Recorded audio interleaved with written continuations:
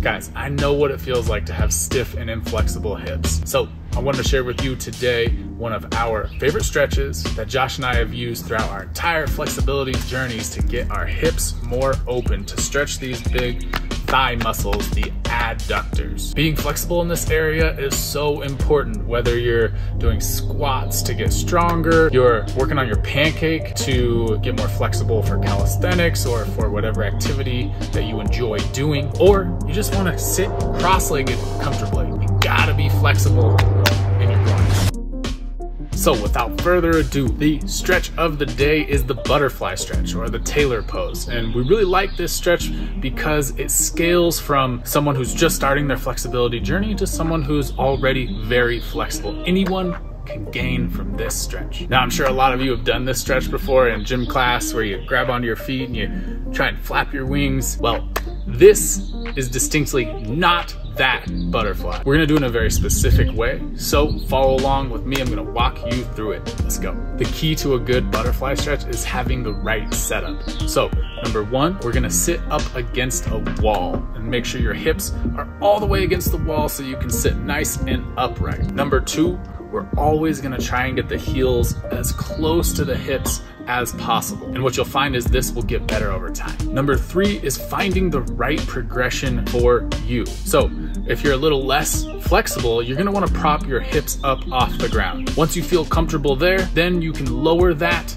to try and sit flat on the ground. And eventually, if you gain a lot of flexibility, you can actually place something between your feet to space your feet out, and that's gonna be the hardest progression. And finally, the last piece of setup is we're gonna use weight because sometimes getting enough leverage to push your knees down is just not realistic. So we need something to assist us pushing our knees down to get the right stretch. So find some weights that allow you to go deeper into this stretch than otherwise, but don't go too heavy because your body might actually fight back and not allow you to stretch as deep as possible. So experiment with it. If you want more information about how to tell if you're stretching hard enough, I made a whole video about it. It's in the description box. Go check it out. That's it for the setup. However, there's one last tip I want to give you before we get started on the stretch. And it's something that I wish I would have learned way earlier in my journey. And that is how to contract your glutes or these muscles on the,